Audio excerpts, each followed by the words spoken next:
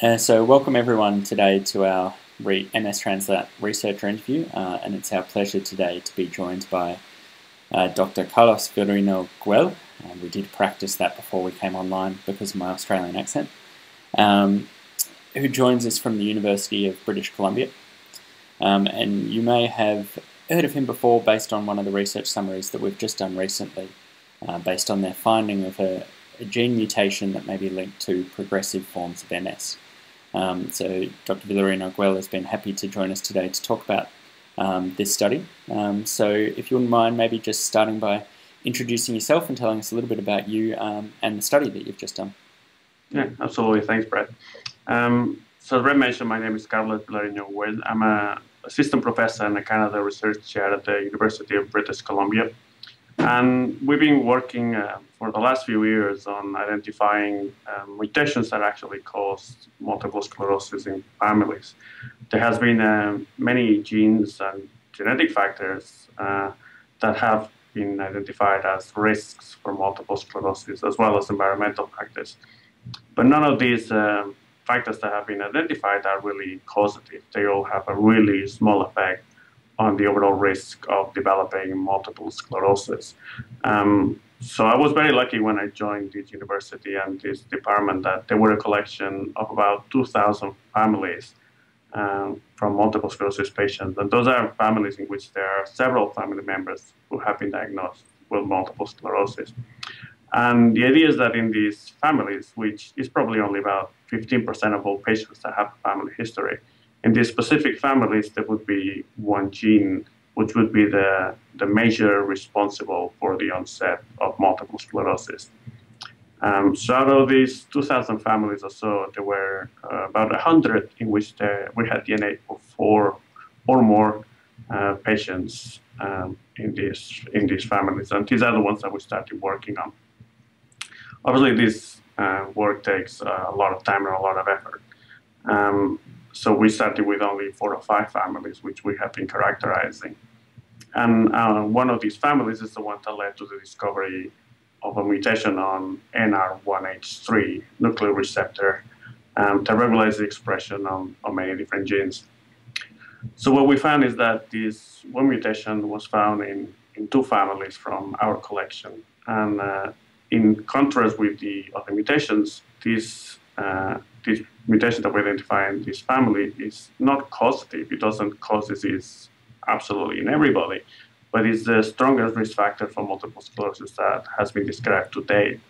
And in these two families specifically, the risk of developing multiple sclerosis is about 60 to 70 percent for the people who presented the mutation, which is really high. Um, in Canada specifically, the risk of multiple sclerosis is about 0.1 percent.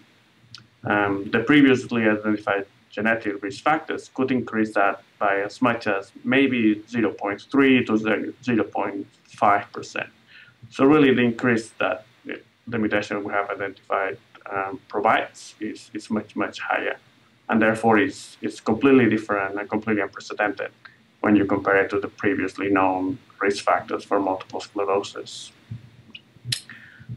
Yeah, that, um, I mean, that, that's really interesting and obviously hugely um, important. Do you have an idea, and I, and I, know you mentioned this slightly in the paper, um, an idea as to how this mutation um, may be causing or uh, increasing the risk of, of MS so much? Um, we have kind of working hypotheses which characterize uh, the biology of the mutation, and we know more or less the mechanism of uh, things that are disrupted in the cell. Um, what NR1H3 is, is a transcription factor that regulates the expression of many different genes.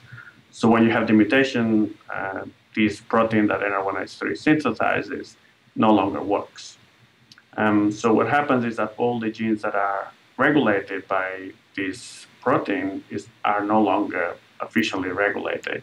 So you get um, a lot of uncontrolled expression of very important things like uh, inflammatory mediators and myelin genes, which are two key factors in multiple sclerosis.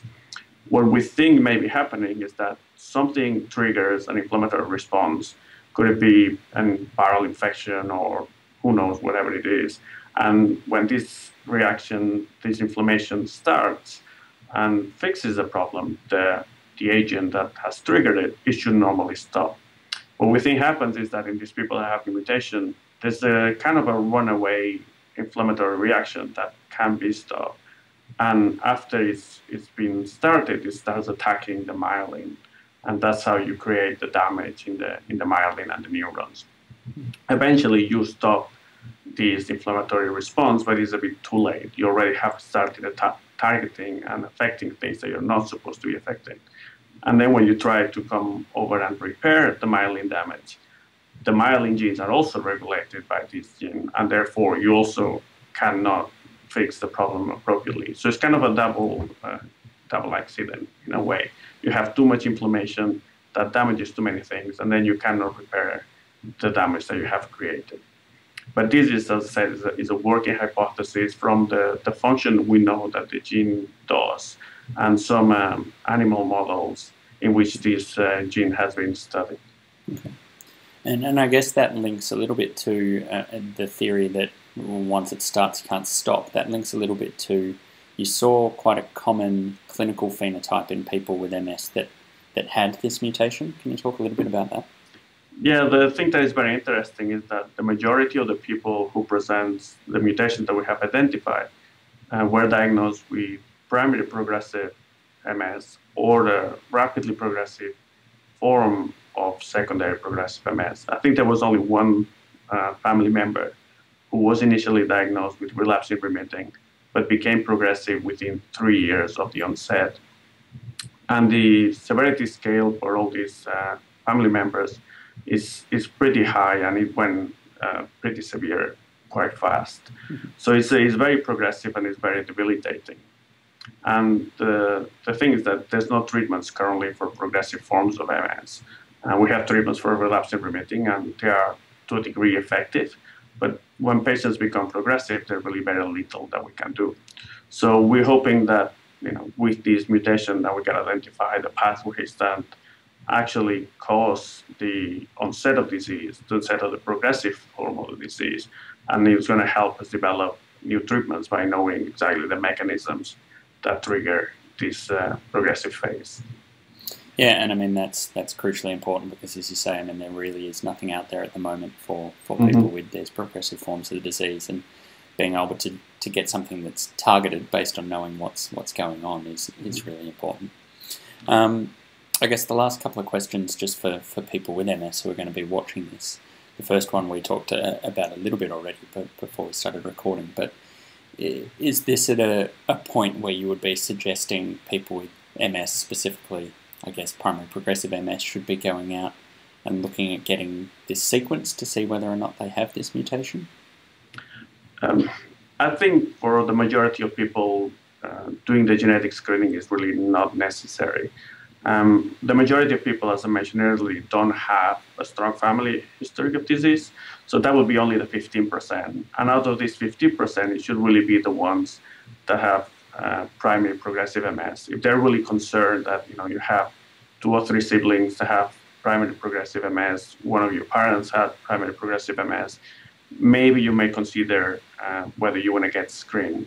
I mean, there's currently no treatments for primary progressive, so it would really only be in a way to minimize all the other agents that you can try to minimize. For example, you could try to stop smoking if you're smoking because smoking is a risk for multiple sclerosis. So if you know you have the mutation, you have a high risk, you want to minimize everything else you can. Maybe there's an option of doing of taking high doses of vitamin D, which may help also slow down or potentially stop the onset of disease. Mm-hmm.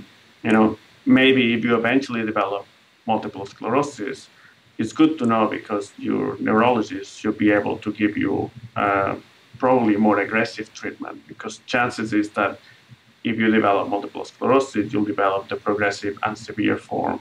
So the neurologist should not be waiting six months down the road to see how you progress to really address how uh, aggressively to treat your symptoms.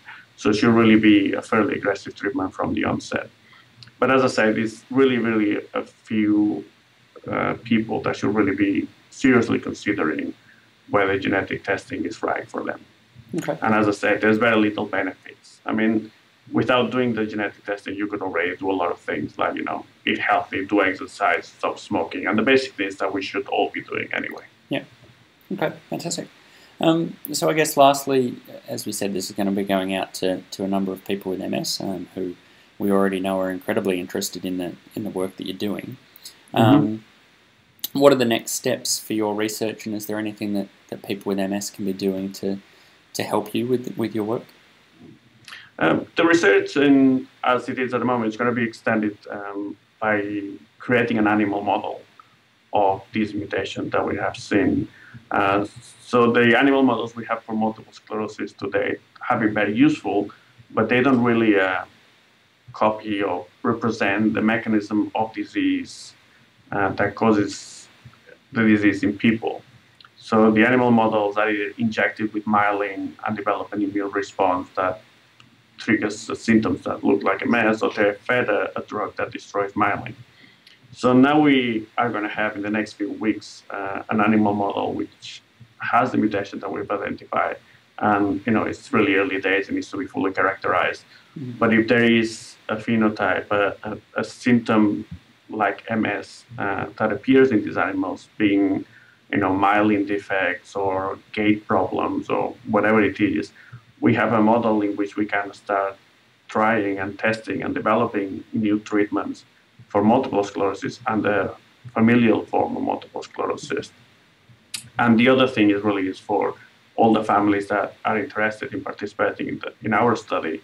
You know, the, the power in genetics really comes from the, the large collection of samples from all these families and all these patients, which is really a fantastic contribution to the research. So if anyone is interested in, in donating a blood sample and a basic description of the um, demographics and, and, clinical history, um, we are more than happy to, to get people involved in our research. And you know, every person is another little piece of the puzzle for, for us to further the science and, and try to do everything we can to, to give back to all the patients. Okay. And for people who may be in that situation, what's their easiest way of, of getting in touch to potentially? Um, probably I should not be giving them my email address. Um, but we have a whole set of clinical coordinators which are um, very knowledgeable and very, very, very smart people um, who can get in touch with uh, with them and provide the, the consents and all the information so they know exactly what they're getting into. You know, the there's my website. I don't know if you can put it up on. Yep, we'll put the link to that down the bottom of the link. video. And they can just get in touch with me and through the website, and then I'll get in touch with the clinical coordinator, and we'll be in touch. Okay. All right. Fantastic. Well, it goes without saying that uh, we are extremely appreciate, appreciative of, of your time today, and I'm sure that the entire MS community is extremely appreciated, appreciative um, of uh, you giving up your time to, to do this interview today we're extremely interested in your research, extremely excited about the, the possible outcomes of it, um, and we wish you luck for, for all of your future work. Thank you. You're very welcome. And, you know, I mean, we, I, we're just trying to give back as much as we can. Excellent. Thank you very much. Appreciate it.